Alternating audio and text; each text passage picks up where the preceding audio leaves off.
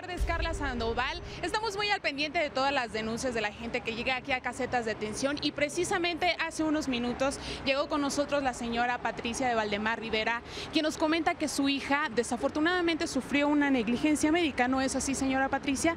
Coméntenos en qué clínicas padeció esto su hija. Sí, ella este, internó en la clínica San José, que está ubicada en calle Austral número 43 en Cuautitlán Izcalli. Ella estaba embarazada, ¿no es así? Sí.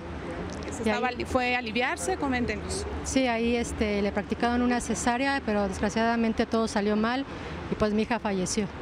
¿A causa de qué falleció ahí en la clínica? Sí, pues fue una negligencia médica porque pues mi, o sea, nadie sabe realmente qué fue lo que, qué fue lo que sucedió. Me habías comentado que terminó siendo trasladada a una clínica del IMSS. Sí, a la clínica 72. Mi hija se alivió a las 11 de la mañana y hasta como por las 8 de la noche nos permitieron sacarla de la clínica San José para trasladarla a la, al IMSS 72. ¿Qué le decían los doctores de la clínica San José, señora?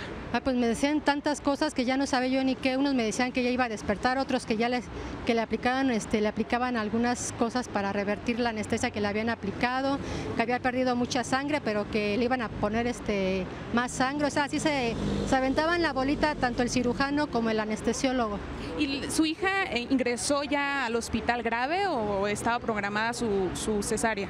No, a la clínica ingresó muy bien, yo, yo la acompañé desde que la estaban preparando para el quirófano, mi hija entró perfectamente bien y pues desgraciadamente de ahí mi hija salió, salió mal y llegó a la clínica 72 del IMSS ya este, demasiado grave. ¿Qué tenía su hija?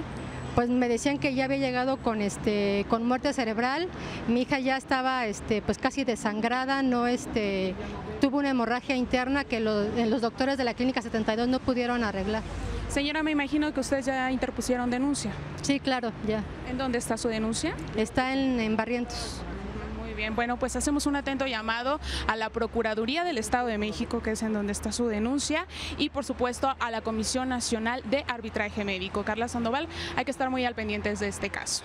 Así es, así lo estaremos. Gracias, Lina. Y por supuesto también gracias a la señora que acudió con nosotros. Gracias por la confianza. Le daremos seguimiento a su caso, por supuesto.